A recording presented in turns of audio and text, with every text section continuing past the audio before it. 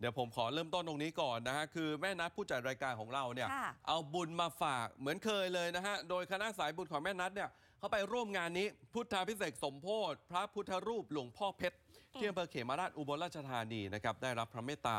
จากเจ้าคณะหนกลาง เจ้าประคุณสมเด็จ พระมหารัชมงคลมุนีหรือว่าเจ้าคุณธงชัยนะฮะวัดไตรมิตรวิทยารามวรวิหาร มาเป็นประธานในงานนะครับค่ะหลวงพ่อเพชรทำจากเพชรหน้าทั่ง ประกอบด้วยมวลสารอันศักดิ์สิทธิ์นะครับเอามารวมกัน ใช้ทีเนี่ยเป็นตันๆเลยนะฮะมาจากนครศรีธรรมราช แล้วก็มาผ่านกรรมวิธีโบราณ อุปสรรคเนี่ยมากมายกว่าจะสำเร็จนะครับค่ะงานนี้เนี่ยทางคณะแม่นัดนะฮะก็ได้ถวายพระพุทธรูปปางพิชิตมารประธานพรอืมแล้วก็มีท่านพบพิสิทธิ์สุขจากพิสิทธิ์ ค่ะคุณแม่ดอกบัวคู่ ดรสุนันทานะฮะคุณปิติลีเลิศพันธ์ลูกชาย คุณชาญชัย คุณรุ่งทิพย์พิสิทธวิทยานนท์เจ้าภาพนะครับค่ะโดยมีท่านเจ้าคุณภาวนาสุตาพิรัตน์เจ้าวาดวัดพิษโสภารามมาเป็นประธานรับครั้งนี้ด้วย แล้วก็มีการทำบุญใหญ่นะครับ มีพระสงฆ์หมู่ใหญ่ประมาณ 300 กว่ารูปบิณฑบาตเนื่องในโอกาสมุทิตาสักการะอายุวัฒนมงคล 55 ปี ของท่านเจ้าคุณภาวนาสุตาพิรัตน์นะครับ เพราะฉะนั้น ใครมีโอกาสไปกราบ ก็เรียนเชิญเลยนะฮะ หลวงพ่อเพชรหน้าทั่งประดิษฐาน ที่ถ้ำภาวนาพุทธสอนบ้านแก้งเหนืออำเภอเขมราช อุบลราชธานี มีที่เดียวในโลกนะครับ ฟังเสียงนิดหนึ่งครับทางวัดพิษโสพารามเป็นวัดอยู่ห่างไกลจากความเจริญ แต่พระเดชพระคุณหลวงพ่อพระราชปรติยากร ผู้เป็นบุรพาจารย์ ได้พัฒนาวัดวาราม ด้วยอุดมการสองประการ ก็คือหนึ่งให้พระสงฆ์สามเณร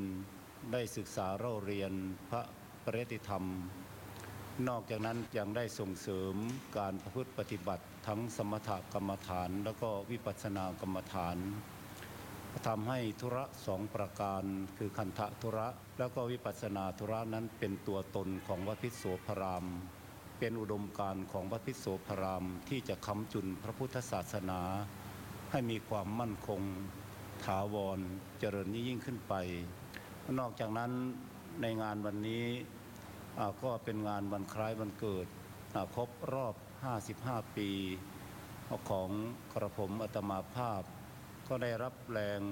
กำลังใจจากญาติโยมสาธุชนชาวบ้าน ตลอดถึงศิษยานุศิษย์ทั้งใกล้ทั้งไกลทั้งกลาง ได้มาร่วมกันบำเพ็ญบุญกุศล เราก็จะพาญาติโยม ทั้งหลายทั้งปวง พระสงฆ์สามเณรทั้งหลายทั้งปวง ให้ประสบกับบุญอันยิ่งใหญ่ เพื่อให้ญาติโยม ทั้งหลายทั้งปวงที่มีความทุกข์ให้ได้มีความผ่อนคลาย ให้มีความสุข ซึ่งอาศัยพุทธธรรม แล้วก็ให้มีความสุขมีความเจริญยิ่งยิ่งขึ้นไป วันนี้ก็มีการ ใส่บาตรตั้งแต่เช้านะมีพระพิสุมาร่วมประมาณ 400 เศษเศษเป็นต้น นอกจากนั้นก็มีการถวายทานเป็นสังฆทาน มีการตั้งโรงทาน มีการแจกทานเป็นอัปปมัญญาทาน ไม่จำเพาะว่าเราจะต้องให้ทานแก่บุคคลใดบุคคลหนึ่ง เราให้ทานแก่สัตว์โลกทั้งหลายทั้งปวง ก็ยังมีการถวายผ้าป่าซื้อที่ดิน จะเป็นผ้าป่าที่เกิดขึ้นมาจากอุดมการณ์ของอาตมาภาพเอง นอกจากนั้นก็เพิ่มพื้นที่สีเขียว ให้แก่ชุมชน ให้ชุมชนนั้นได้รับประโยชน์จากการมีสีเขียว นอกจากนั้นก็ยังมีการบริจาคโลหิต นอกจากนั้นมาก็จะทำการถวายถ้ำการถวายถ้ำถ้ำที่สร้างนี้เนี่ยไม่ช่างไม่ได้สร้างเพื่อประโยชน์ส่วนตน ไม่ได้สร้างเพื่อผู้ใดผู้หนึ่ง แต่จิตวิญญาณที่สร้างขึ้นมานั้น มุ่งตรงที่จะถวายเป็นพุทธบูชา ธรรมบูชา สังฆบูชาเรียกว่าถวายให้แก่พระศาสดาพระธรรมพระสงฆ์เรียกว่าเราเกิดมาครั้งหนึ่ง เราได้ถวายน้อมถวายเป็นพุทธบูชา ธรรมบูชา สังฆบูชา นอกจากนั้นก็เป็นที่ประดิษฐานพระพุทธรูปปางต่างๆ อันเป็นที่กราบไหว้ของมนุษย์และเทวดาทั้งหลาย นอกจากนั้นก็ยังเป็นที่ประดิษฐานพระบรมสารีริกธาตุถ้าเราไม่กระทำในลักษณะอย่างนี้แล้วเนี่ยเมื่อชาวพุทธของเราเติบโตมาอายุ 20 ปี หรือเติบโตเป็นหนุ่มเป็นสาวแล้ว เราจะเอาเขาเข้าวัดเนี่ยเป็นสิ่งที่เป็นไปได้ยาก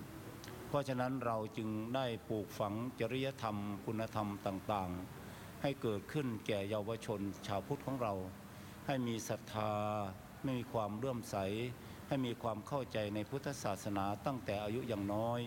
เพื่อฝังลากลึกลงในจิตในใจของเยาวชนทั้งหลายทั้งปวง เพราะฉะนั้นถ้ำพุทธสอนแห่งนี้จึงเป็นการถวายเป็นการสร้างขึ้นมาเนี่ยเพื่อที่จะยังพระพุทธศาสนาให้มั่นคง แล้วก็แพร่หลายสืบต่อไป เพราะฉะนั้นอาตมาภาพ ออนุโมทนาสาธุการที่ญาติโยมได้มาร่วมกันชมรายการแห่งนี้ ก็ขอในท้ายที่สุดนี้ก็ขอญาติโยมทุกท่านทุกคนที่ชมรายการแห่งนี้ ให้มีสุขภาพแข็งแรงปราศจากโรคภัยให้มีอายุยืนยาวนาน ให้ครอบครัวอยู่เย็นเป็นสุข ให้พระธรรมคำสั่งสอนขององค์สมเด็จพระสัมมาสัมพุทธเจ้า